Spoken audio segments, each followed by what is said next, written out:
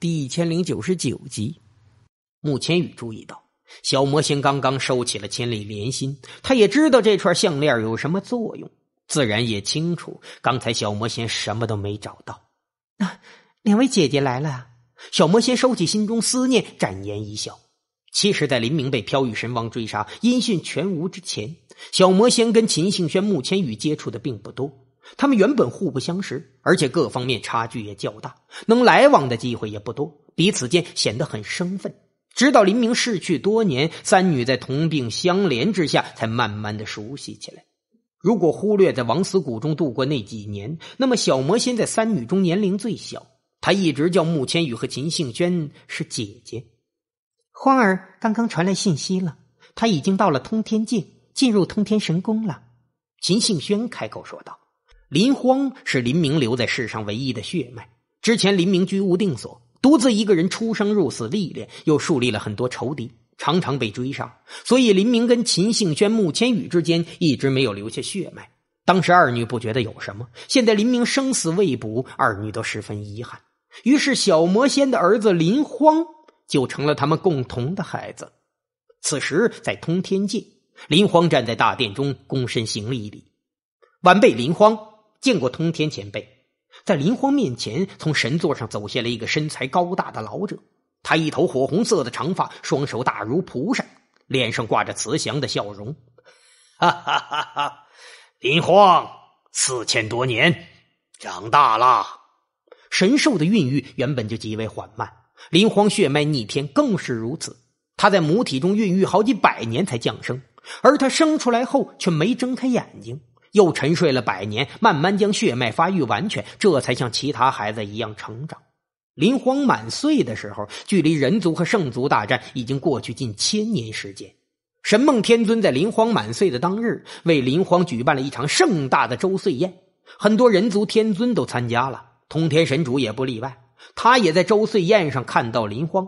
这一别四千年，林荒已经成了人族一个不可小觑的高手了。通天前辈。这是神梦前辈送给您的手札，晚辈带来了。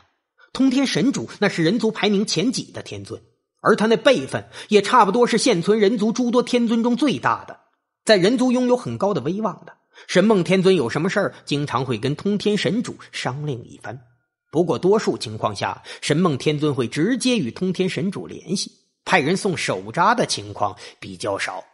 通天神主拿过神梦天尊送来的手札，感知力沉入其中。慢慢的，他的眉头皱了起来。这手札中是一段影像，而影像中的内容让他无比震惊。那是一只巨大的红色怪兽在撞击虚空，一次又一次，虚空中产生道道裂痕，但这些裂痕又在慢慢愈合。通天神主知道，这红色怪兽就是荒。而他撞击的虚空是神域和蛮荒宇宙间的叹息神墙，造化圣皇他已经有足够的力量，能够在不付出太大代价的情况下彻底打通叹息神墙了吗？叹息神墙那是天道法则所形成的结界，它分割三十三天，坚固无比。在神秘天道法则的控制下，有的叹息神墙会周期性减弱，如同潮汐；可也有叹息神墙一直都如此坚固。这些坚固的叹息神墙，哪怕顶尖天尊都无法在上面留下哪怕一丝痕迹。只有真神自损修为，才有可能将其打通。但这所谓打通，也就是暂时性的，没法维持。比如十万五千年前，造化圣皇追杀混元天尊，打通叹息神墙也没能维持太久。之后叹息神墙就慢慢恢复了。可这一次。完全不同。造化圣皇在利用荒开凿叹息神墙，而开凿的方法就是荒最强大的能力——吞噬。巅峰时期的荒可以吞噬天道规则，这叹息神墙本身也是天道规则的一种啊。在造化圣皇将荒驯服，并且用神域的资源不断喂养荒，让他在肉身方面慢慢恢复到当年巅峰水平的时候，他就已经有能力吞噬叹息神墙了。在神梦送来的手札形成的影像中，原本呈球形的荒变成了一条巨大的红色蠕虫，一点一点啃食叹息神墙，就像是蛀虫在蛀木头一般。看到这等情形，通天神主心惊肉跳啊！按照这个速度，用不了多久，叹息神墙就会被荒蛀穿的。这个时候，林荒说道：“通天前辈，神梦前辈说过，荒想要吞噬叹息神墙，打一个洞，也许用不了多久，但是要开凿出一个无比巨大、至少能维持千年的大洞，却需要很长时间。一个足以让圣族攻打蛮荒宇宙的叹息神墙大洞，怎么也得持续个几百年、上千年，如此才能保证补给和信息传输。神梦预测过要多久吗？”通天神主缓缓坐回神座。拿着这枚手札，心中惊疑不定。神梦前辈也没法预测。林荒摇了摇头。神梦前辈有两个提议：第一，就是加强人族居住地的隐蔽阵法，让圣族很难找到我们；第二个就是继续利用希望号和神明法旨去探索新的蛮荒宇宙，并且派遣族内精锐去新的宇宙拓荒，让人族在三十三天宇宙中所有能够生存下来的宇宙空间中都生存下来。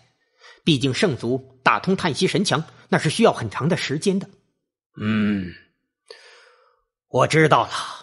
通天神主轻叹一声：“去新的宇宙拓荒，说起来轻描淡写一句话，然而真正去实施，必然意味着无数的流血牺牲啊！这是一条无比艰难、充满荆棘的道路。人族真的到了山穷水尽的时候了吗？被敌对种族追杀到这等地步？”这一劫，人族真能挺过来吗？想到那飘渺的未来，通天神主便感到沉重。他已经八千万岁了，寿元没有太多。他不知道在自己有生之年能不能看到人族重建辉煌。如今风雨飘摇的人族，想要重建灿烂的武道文明，必须得有一个领军者。现在的领军者是神梦天尊，他也是人族现在唯一的真神级强者。然而，在通天神主看来，神梦虽然天资卓绝，但想要威胁的造化圣皇终究差太多。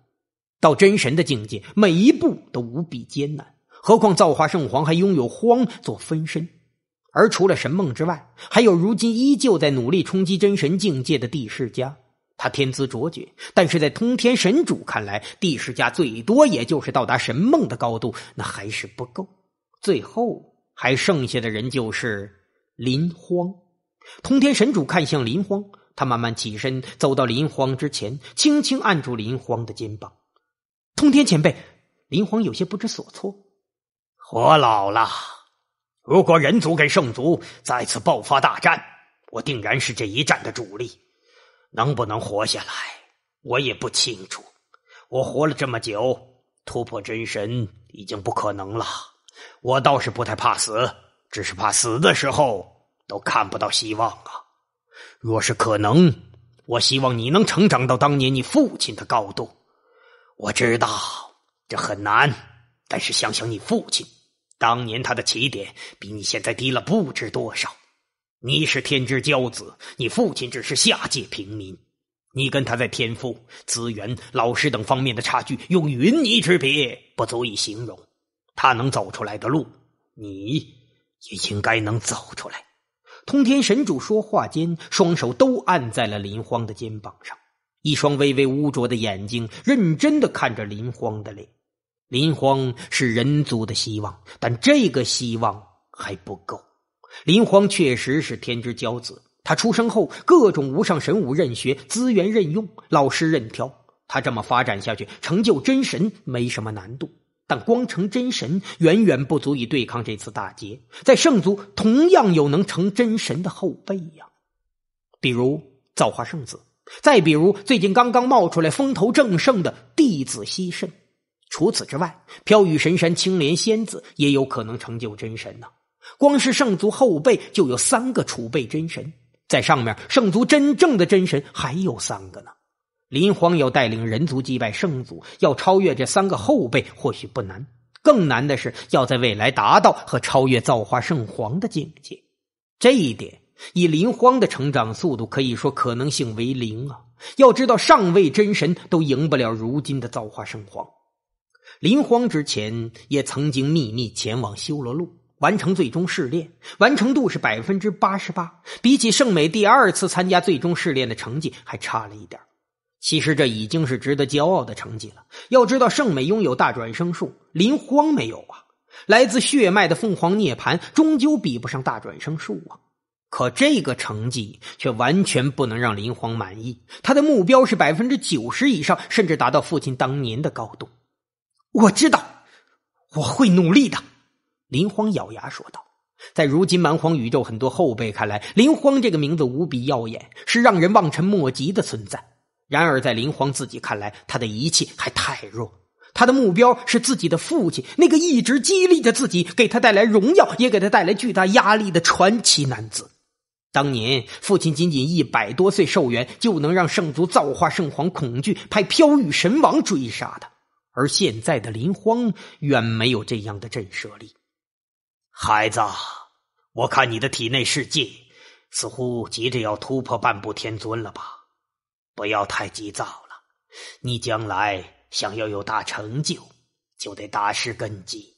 你父亲的神话可不是他的修炼速度铸就的，而是他所参悟的法则积累的机缘，他的经历、人生、毅力等等诸多方面共同决定的。你的路还长啊！通天神主语重心长的说道。林皇重重点头。修炼速度并不是一切，武道之路需要有耐心。一株豆芽一个晚上就能萌发，一季水稻得几个月就能收割。可是，一株真神级灵药往往得一年才能孕育。豆芽、水稻只是凡人的食物，吃下去后只能充饥；而那些真神级灵药却能让无数大势力争抢，被栽种在宗门内，成为宗派至宝。他的任何一枚果实都足以能改变一个强者的命运呐！林荒要做的，便是一株天才地宝。他现在缺少魔力，而他比他父亲多出来的东西就是时间。他有更多时间来让自己成长起来，直到挑起人族的重担。这是一条艰辛而坎坷的道路。在神域与赤光界比邻的一个小世界中，有一颗名为东蓝星的星球。这颗星球直径两亿五千万里，比天眼星还大了好多倍。不过，它距离赤光界主大陆实在太远，又在赤光界边缘的独立小世界中，东蓝星上没什么高手，根本不受关注。六千五百年前，神域沦陷，赤光界诸多圣地被圣族覆灭，大量人族高手阵亡，而极为偏远的东蓝星也在这场浩劫中遭受洗劫。当时，东蓝星第一宗门东蓝宗被一个圣族小分队给盯上了。这个小分队要求东蓝宗交出所有的灵药。资源、功法秘籍，否则就灭东兰宗满门。这个圣族小分队队长只是一个圣君境强者，而东兰宗呢是个七品宗门，宗门里最强的太上长老也是神君境，其他宗主和长老都是神变境。面对这支圣族小队，东兰宗愤恨无比，恨不得跟他们拼了。可他们也清楚，面对圣族的入侵，他们就如同一堆蝼蚁一般微不足道，只能认命。然而，他们没想到的是，当他们已经陆陆续续交出所有资源的时候，那个圣族小队又提出要从东兰宗带走一百个少女炉鼎的要求。这些炉鼎中，赫然包括东兰宗宗主的女儿。这让东兰宗所有弟子可愤怒了。他们与圣族小队大战一场，杀了不少圣族武者，可终究还有更多圣族武者逃了。紧随而来的是圣族疯狂的报复。一个圣族圣君巅峰的强者赶来，直接血洗东兰宗，将宗内高手全数杀死。宗内一些少女已经预料到自己悲惨的命运，全都自杀了。这种种做法更触及了圣族的神经。他们在东兰星掀起一场屠杀，数百亿人类死于屠杀中。当时人心惶惶，侥幸生还的一些东兰宗余脉也面临解体。在宗门已经近乎分崩离析的时候，又有一些被圣族屠杀后的宗门余脉来到了东蓝星所在小世界。他们与东蓝星汇合，这些宗门余脉中就包括了当年上古凤族和上古龙族的部分弟子。上古凤族和上古龙族追溯到他们建立的时候，也只是一些强者在神兽秘境中找到了四神兽的尸体。从此之后，四神兽家族建立起来，并慢慢发展成了圣主级和界王级势力。在神域浩劫中，像四神兽家族这样的势力，自然是逃不过清洗的。上古凤族还好，因为跟林明的关系，当初撤离的时候，他们被特殊关照，族内一些高手和林明有关系的人就去蛮荒宇宙了。可上古凤族七十二宫呢，依然有大量弟子在浩劫中被杀，或者四散逃离，沦落天涯。其中就有一些流亡弟子聚集在东兰星，跟其他大势力幸存者们合力建立起一个新的组织，叫天地盟。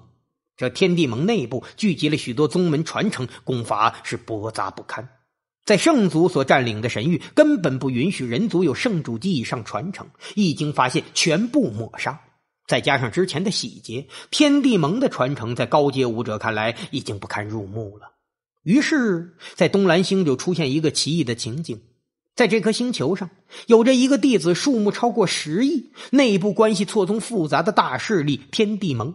可与此同时呢，天地盟内部又没高手，结构极为松散，传承是五花八门。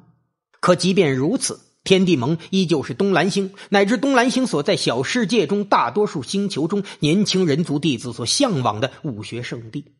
天地盟每十年招收一回弟子，每次弟子考核的情景是极为壮观。这些个来自各个偏远小星球的人族年轻武者们，殚精竭虑的想要通过考核进入天地盟。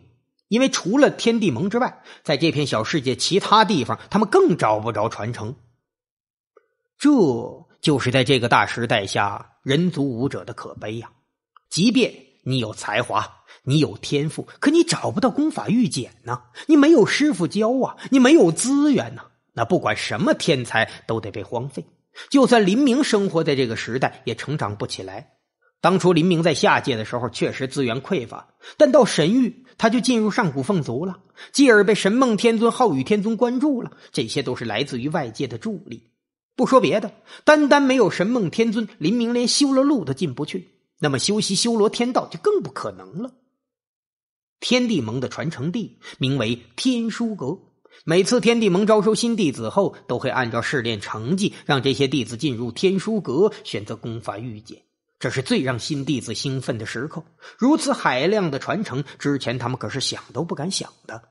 然而天书阁杂乱传承太多，每个弟子进入时间有限，很多时候他们的收获没办法最大化。一群兴冲冲的年轻弟子冲入天书阁的时候，迎接他们的是一个穿着破破烂烂、随意半躺在椅子上的落魄中年人。这个中年人看上去大概就是三四十岁。胡子拉碴，是满脸风霜。他手中拿着个酒壶，身上衣着十分邋遢。但奇异的是，他那一双眼睛却并没有想象中那般无神，而是十分明亮，如同少年的眼睛。进去吧，你们每个人有三个时辰时间挑选一套功法。中年人喝了一口酒，淡漠的说道：“这种淡漠似乎给人一种看透生死的感觉。”看到这个年轻人，这些年轻弟子心中有种莫名的感觉。哎，这大叔谁呀？有人私下里传音：“嗨，他是天书阁看门人。哎，别小瞧他，据说天书阁中任何一套功法，他都了如指掌。如果他愿意，可以短时间内为任意一个进入天书阁弟子找到适合他的功法呀。”嗯，呵，嗯，啊，有天地盟的师兄们传音解释道：“哎，那咱们去问问他去，看看怎么选。”哎，得得得得得。甭指望啊！一般人问话根本不搭理。不过有时候你不问他，他也会突然指点几句。这个前辈的性格那叫一古怪。几个人快速交流，而这个时候，那个中年人已经开始在椅子上闭目养神了。